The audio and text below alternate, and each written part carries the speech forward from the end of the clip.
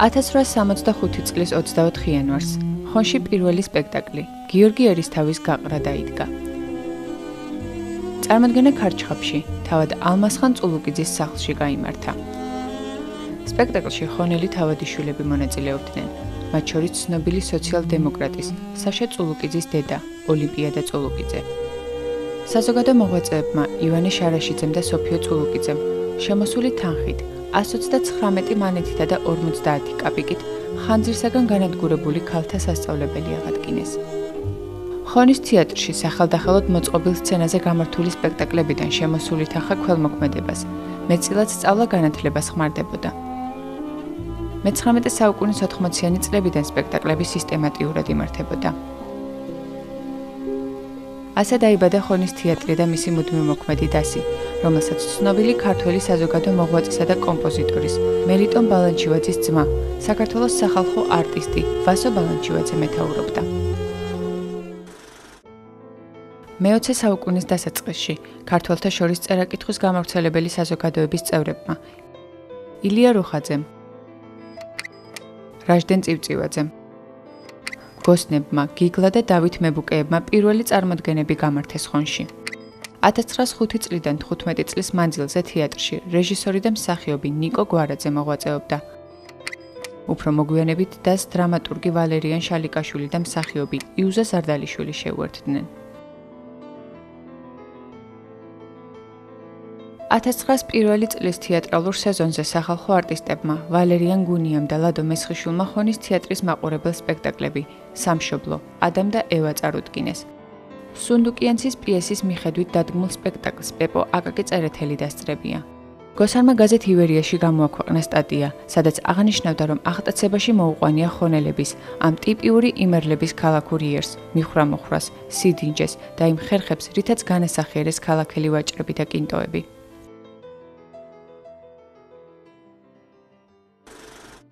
1907 წელს გაზაფხულზე თეატრის გამგეობის წევრმა რაჟდენ წივწივაძემ ხონის ბულვარში საკუთარი ხარჯებით ააგო თეატრის პატარა ღია შენობა, რომელიც 140 მაყურებელს იტევდა. სპექტაკლები ხშირად საწყობებში, ფარდულებში, სახლებსა და ღია ცისქვეშ იმართებოდა. იყო პერიოდი, როცა სცენა ნავთის ლამპით ნათდებოდა, რეკვიზიტები კი თვითონ სცენის მოყარეებს მოჰქონდათ. 1907-1910 წლებში ხონის სახალხო თეატრში 100-ზე მეტი სპექტაკლი დაიდგა და განახლდა. წარმოდგენებში მონაწილეობდნენ მოწვეული მსახიობები. საქართველოს პირველი სახალხო არტისტი ვასო აბაშიძე. მსახიობი ლიპა ღოღობერიძე. კოტე მესხი, რომელმაც 1885 წელს დააარსა ქუთაისის პროფესიული თეატრი. აქ ხშირად მართავდა სპექტაკლებს ხონის სახალხო თეატრის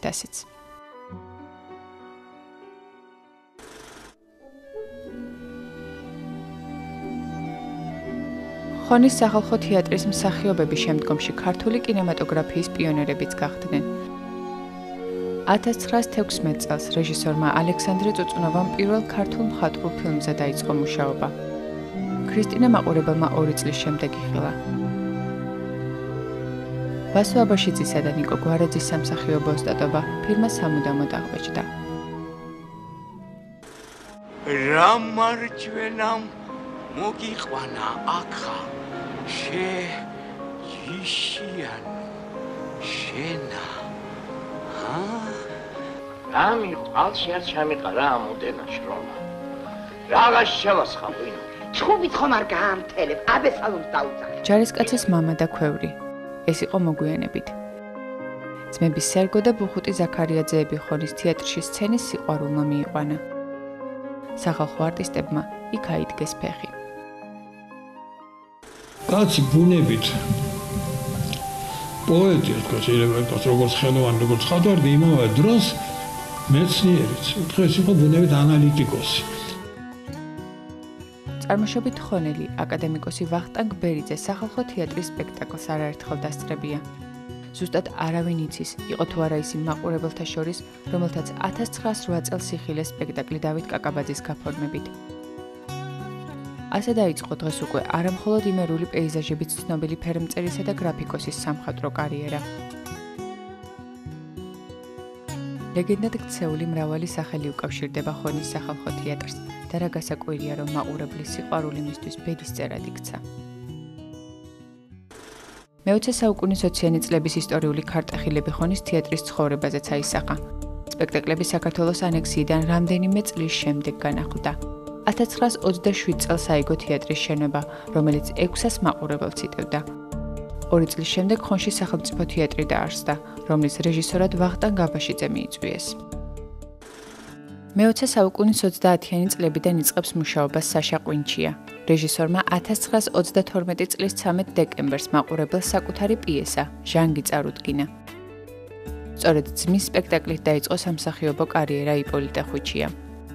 პრემიერის დღეს დარბაზი ხალხით იყო გადაჭედილი. შესანიშნავი იყო მსახიობის დებიუტი. დარბაზში ტაში არნელდებოდა. წამოვედი ხონში და მუშაობდი თეატრში. იქ დამხდა ბატონი ალექსანდრე საშა პრინჩია და გენიალური ხალბატონი ტატიანა ჩიხლაძე, დირექტორი. საშა პრინჩია იყო უნიჭიერესი კაცი. რა ქვიან ეს სიგარეტზე და რა ქვიან უყვარდა ტექსტი. იპოლიტეს ძმა ძალიან კარგი. ნუ ბატონი იპოლიტეზე საუბარი ზედმეტია. თეატრში იყო ჩადებული მაგათი სული და გული. თეატრის გარეშე ცხოვრება მაგას არ შეეძლო. მამაჩემის ეძებდა ახალ-ახალ თანამშრომლებს ძალიან ბევრი ვიღაცები ყავს გარდილი. საშას თეატრის გარეშე ცხოვრება არ შეეძლო. იპოლიტე ძალიან გვიზიარებდა ყველაფერს და ძალიან უყვარდა ჩვენთან ერთად საუბარი იპოლიტე. მამაჩემი უფრო თავშეკავებული იყო.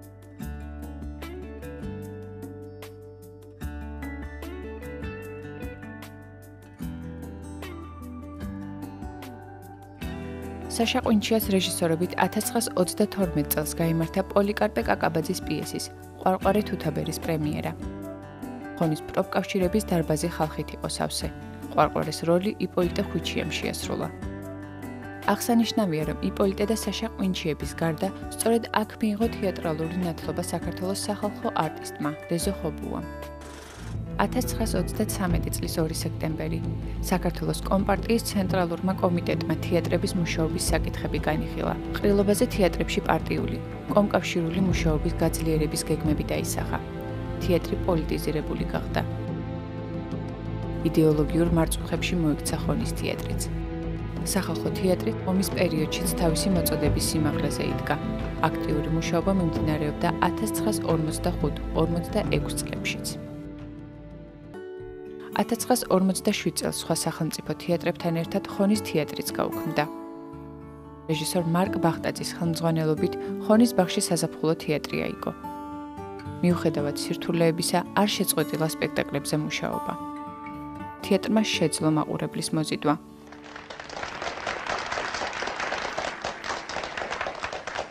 ხონის თეატრს ყავს მაყურებელი, ეს არის საოცრება. იქ სხვათა შორის ფილმში იმერული ესკიზებში არის ნაჩვენები ხონის თეატრში რო ტარდება სპექტაკლი. და ის რობერის ჩვენებს და მაყურებელი სუფთად მიაგულთან. აი თითქოს სინამდვილეში ხდება. და თუ რაღაც ხმაური აი მას ვერ ისჩუმე უნდა იყოს. როგორი მაყურებელი ყავს ხონს. ყველაფერს იღებს ნაღდად და არის გასუსული და ტაში ტაშს არ წვეტენ ხოლმე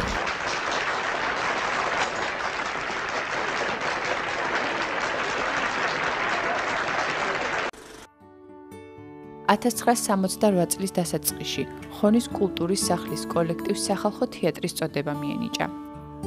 სახალხო თეატრის პირველი რეჟისორი ალექსანდრე საშაყვინჩია გახდა. ის გარდაცვალებამდე 1980 წლამდე ემსახურებოდა ხონის სახალხო თეატრს. 1991-1994 წლები. აფხაზეთის ტრაგედია და სამოქალაქო ომი. თეატრში სპექტაკლები არ შეწყვეტილა.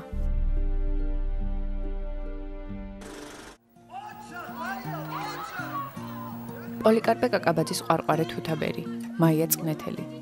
მაყურებელი ახტაცებაში მოყავდა დინამიურად გადმოცემულ საბჭოთა პერიოდის რეალობას.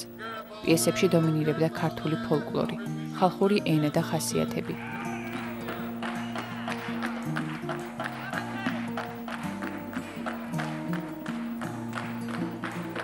სამოქალაქო ომისა და სიდუხჭირის მიუხედავად დასმა გიორგი რატიანის მეთაურობით დადგა მაიაწყნეთელი, ერთ-ერთი გამორჩეული წარმოდგენა სახალხო თეატრის ისტორიაში.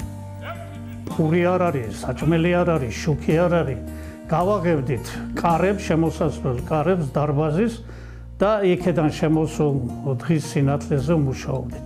თუ დაგვიღამდებოდა ლამპებს, ორი ლამპა ძლივ შოულობდით ნავს, ჩავასხავდით და სცენის კუთხეებში დავდგამდით აქეთ-იქეთ ამ ტანკების გროხულში, გრიალში, ყვირილში მართლაც ეგ საოცარი რამ იყო ასეთი გმირობა თბილისის თეატრები მაშინ დაკეტილი იყო და ხონში დაიდგა მაიაწყნეთელი უზარმაზარი ისტორიული მასშტაბური სპექტაკლი.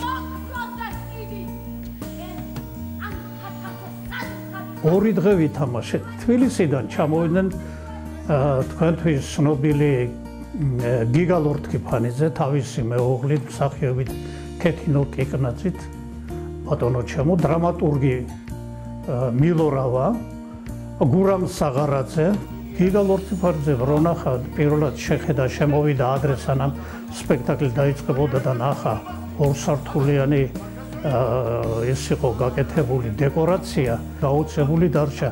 ამას ახლა სახელმწიფო თეატრებიც ვერ აკეთებენ და თქვენ როგორ გააკეთეთ?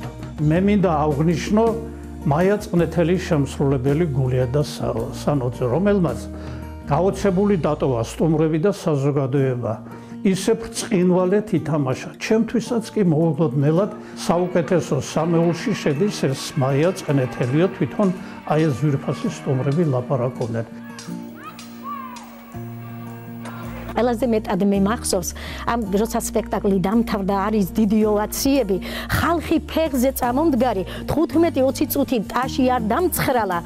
ქალბატონი ქეთევანი სამობრძანება სცენაზე უზარმაზარი თაიგული და ქალბატონი ქეთევანი ამბობს არ ვიცი, ფიქრობდი გზაში რომ მოვდიოდი, ვისთვის მიმერთნია ეს თაიგული, ელენა ყიფშიჯის შემდეგ, სალომე ყანჩელისა და ბელა ჯაფარიძის შემდეგ.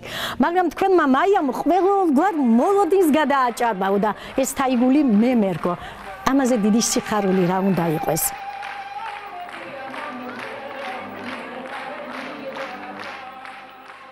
მეორე სპექტაკლი ჩემი გახლდათ პოლიკარპე კაკაბაძის ყვარყვარე თუთაბერი. ჩვენ სხვანაირად გადავწყვეტეთ ცოტა ეგ სპექტაკლი. ეს 70 წელი საბჭოთა პერიოდი და მისი წინა პერიოდი გავაერთიანეთ ამ სპექტაკლში. ყვარყვარე მშვენიერი იყო ბრწყინვალე ზურაბაბზიანიძე.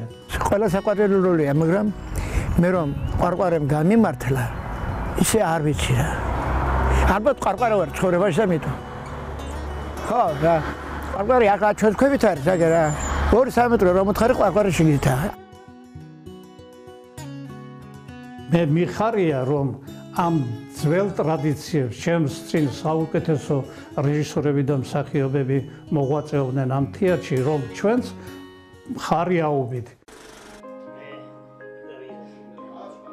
დღეს ხონის გიორგი საღარაძის სახელობის თეატრი თავის შენობაში მასპინძლობს მაყურებელს.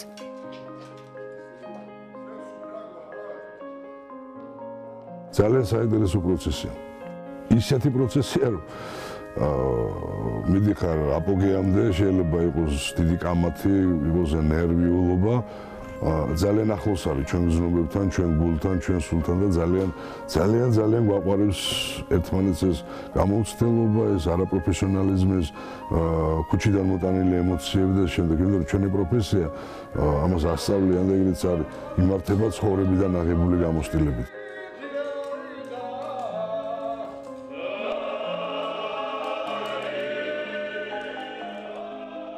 თეატრი აუცილებელი მალამოა სულის მანკიერების მოსარჩენად. სხვა გამოსავალი არ არსებობს.